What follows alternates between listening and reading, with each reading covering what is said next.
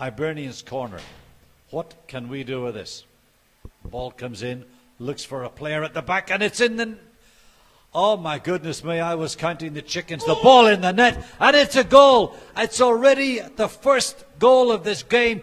And who's got the ball in the net? We're still looking for confirmation, but I think they're playing at home. They're losing by a goal to nil, and they just can't get their way through. There's Jurgen looking for a lovely little play on by, lovely little play on by Greg. And that is the second goal. And who has scored the goal? My goodness me. Your little touch here. He didn't stop running. Greg, lovely little tap back into him. And there's Jurgen Degabriele into the back of the net, into the side of the past the keeper. And that's it. Thank you. 2 0. And could that be good night in for Wilson? Just a reminder this is the Europa League first round qualifier. It's Vaduz FC of Liechtenstein at home to Hibernians of Paola.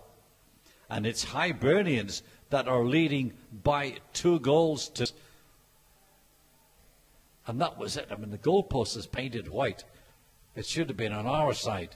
But no,